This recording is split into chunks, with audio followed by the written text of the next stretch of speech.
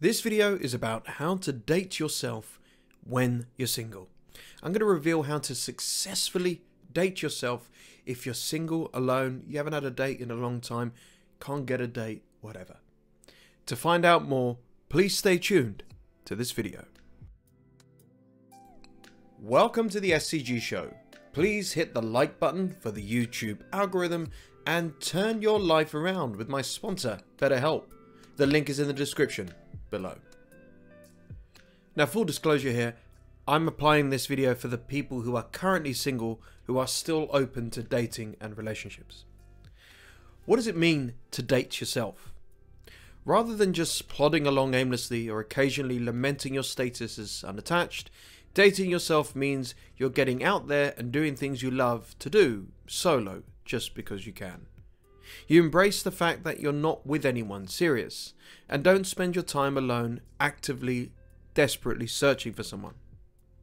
When we go through breakups, it's so easy to walk around with a cloud over our head, metaphorically speaking, and the whole woe is me, pity party ordeal. One moment you were in love, skipping down the street, had someone to wake up to and go to bed every night, the good morning texts, etc. And the very next moment you're now alone. That bed feels bigger than before. That meal for one is just so eerily quiet, and you almost feel lost and completely detached. That is why I believe breakups take a significant amount of time to heal and recover from. I've covered this in another video. A good rule of thumb I would say is it typically takes around 6 months minimum to get over someone and heal and recover. Not entirely, but 6 months is a good time frame. Look, I lost my dad 2 years ago and it still hurts and it's still painful. So I believe grief is very similar when it comes to breaking up. The relationship you had is like a death. It's over between you two. And you need to have a funeral for it, bury it, and ultimately move on from not just them, but the memories you're sharing. Once that happens, there's a period of remorse, grief again, healing, and eventually the embracement of a brand new dawn, recovery, and a fresh start.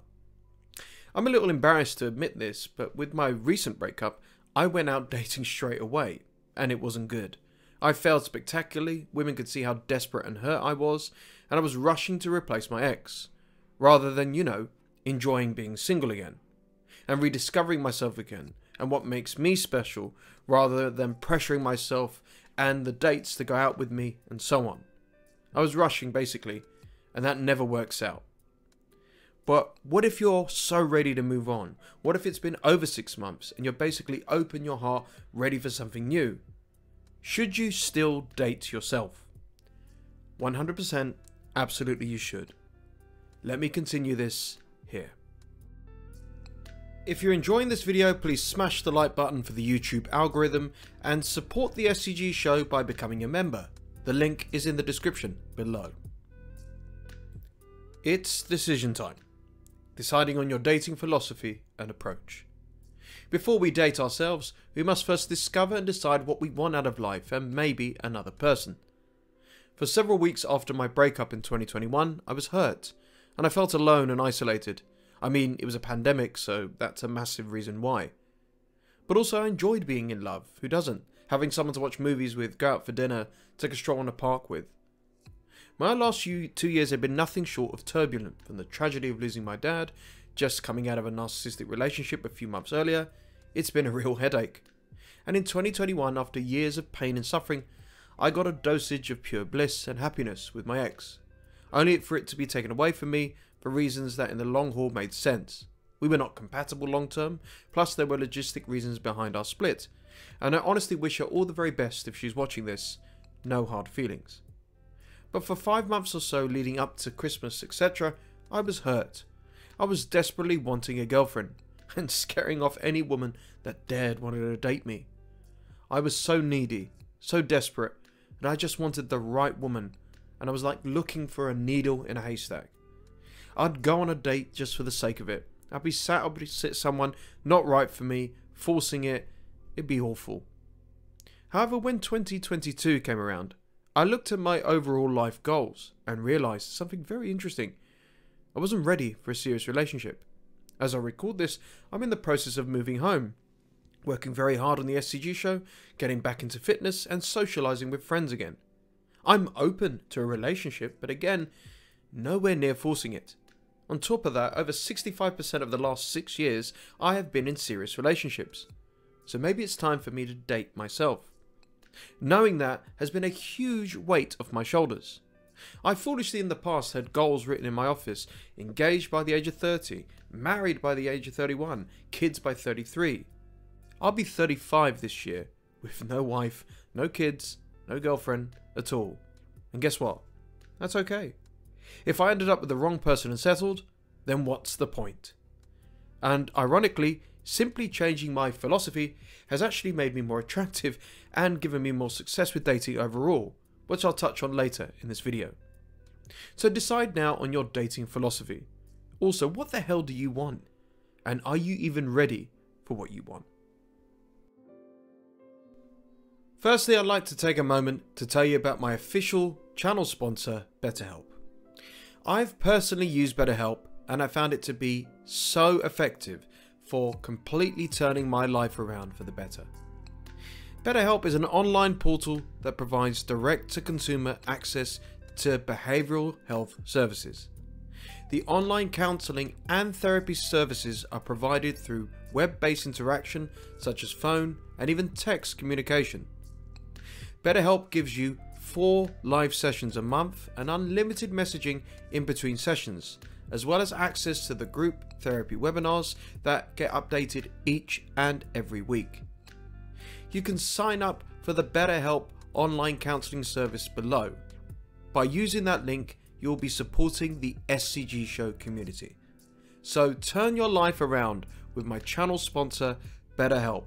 The link is in the description below. Next up, having fun alone.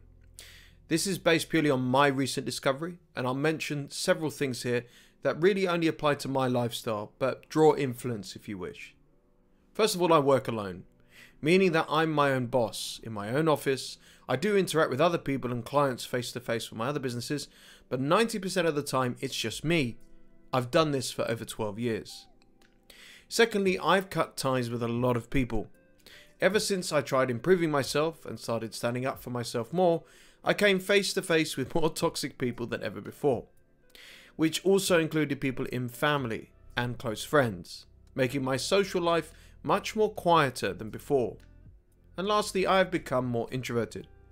I used to be a guy that was out all the time, seven days a week, clubs, bar, hookah lounge, casinos, you name it. Now in my 30s, I couldn't care less about other people. I chase no one. Not validation, attention, nothing. I'm more introverted than ever. Okay, but where am I going with this? My life has changed dramatically. In some ways, I created and designed it, in other ways, it was forced upon me. Therefore, I do not spend much time with other people, and I'm largely forced to work, socialize, eat, and hang out, well, a huge chunk of it, alone. And guess what? it's not that bad. When I split from my ex narcissist a few years ago, there are a lot of things I enjoyed doing with her, such as going out to eat, visiting museums, art galleries, going out to the cinema, shopping centres, even for a drink at a local pub or bar. But when we split, I said to myself, I'm going to do all of those things without her, and I'm going to enjoy every single one. Sometimes on the weekend, I hop on a train to central London and go and see an art gallery, or go out for dinner alone, or even go spoil myself shopping, all on my own. And guess what? I bloody love it. And I'll continue to do so, because why the hell not? The pandemic has hopefully reminded us how fragile and short life is. Besides, why should we waste this precious life with the wrong person or chasing the wrong person? Especially when you can have so much and enjoy so much on your own too. Hey, if you're enjoying the SCG show, feel free to make a donation to support my work via PayPal. The link is in the description below. A truly successful and fun way to date yourself when single is probably for the first time ever putting yourself first and your needs first. If you're empathetic like me, that can be an enormous shock to the system, as you've probably spent most of your life pleasing others, putting other people first, neglecting your own wants needs, and desires. But suddenly you find yourself alone, and there's no one to question or answer you but yourself.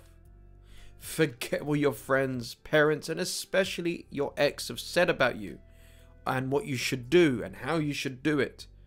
It's time to honestly put the most important person in the world first.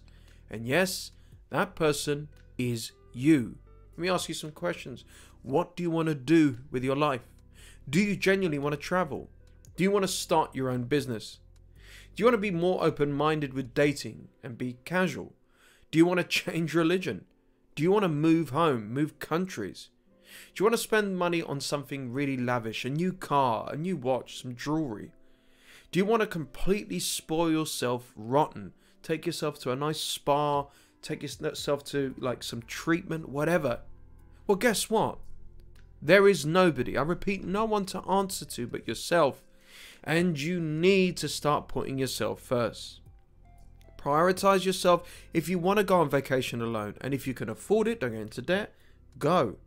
If you can afford to move house, change homes, who is stopping you? If you just want to be like, you know what, I just want regular casual fun, I don't want to commit to something, I'm tired of serious relationships, who is stopping you? Who is judging you? There's probably somebody else who feels exactly the same way. Ignore that negative voice. Don't do it. No, your parents said this. Ignore it. Ignore that need to be liked. Not everyone's going to like us. Who cares? Ignore that feeling of being lonely. There's a difference between being alone and lonely. Lonely is that negative emotion. Alone is, hey, I'm alone, so therefore I'm free. You are the captain of your fate. You are the master of your destiny.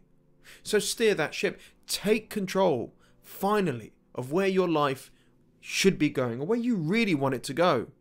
In whatever ma- manner you want, at whatever speed, put yourself first. Lastly, still date.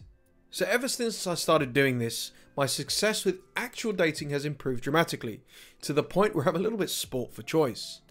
I went from not getting many dates and rejection and disinterest to struggling to keep up with potential options. Look, I'm not saying I'm a player, but I'm taking my time and enjoying myself rather than bulldozing and rushing into anything and more importantly, not pressuring women I'm dating into something uncomfortable like, see me straight again, let's go out again, I'm looking for something serious, I want to settle down. Now, I know what you may be saying, but SCG, how am I going to do this? If I'm dating myself, how do I date others? What? I'm so confused. By starting to date yourself, you immediately remove your neediness, which men and women can smell from a mile away. You're totally cool with whatever happens with your prospective date, and that makes you so attractive. Secondly, you could do this on the side to enjoying your time alone and you entertaining yourself. Dating apps, classes, nights out, you can meet people anywhere. They are just tools, resources, and places to meet a, a new person. But again, they're not the be all and end all. And the more pressure you put on those things and people, the far less successful you're going to be. Tonight, for example, I'm absolutely shattered. I'm not feeling great, and I'm going to have a shower, cook something, and watch some of my favourite TV shows, maybe even play some video games. I had options to go out, even on a date, but I declined and rearranged. Tomorrow I might do so, let's see. It's time to be selfish. However, ultimately, if you're like me, still open to having a nice partner in your life, put yourself out there and still continue to make the effort. I believe I successfully do both, but the most important thing is my mental health, my needs, my wants. I don't care what happens on a date now. If they flake, they're weird, or they're the best women I've ever met in my life, so be it. I come first, as should you. This is not narcissistic or selfish. This actually is very good because maybe if you're empathetic, you've never done this before. And by doing this, ironically, you make yourself irresistible to a potential new partner. Here's a quick word about my sponsor, Keen. Keen provides access to vetted psychics and spiritual advisors who provide guidance and insight on all of life's challenges, from clarity in love, career, you name it. Keen is also one of the most affordable ways to get an instant psychic reading by an accredited advisor at any time 24 7. Yeah, a Keen advisor is available 24 7. There's always someone online and you can easily schedule a call with an advisor. As a new Keen customer and using the SCG Show link below, you can try your first 10 minutes for only $1.99. Pricing then depends on which advisor you choose and the services are backed with a satisfaction guarantee. Keen is the most affordable way to connect with a psychic advisor. When you meet the right person, you'll develop an ongoing relationship which leads to benefits like chakra clearing, astrology and tarot readings, and so much more. So if that sounds good to you, feel free to check out Keen today. The link is in the description below. Hey, thanks for watching. Be sure to comment, like, and subscribe.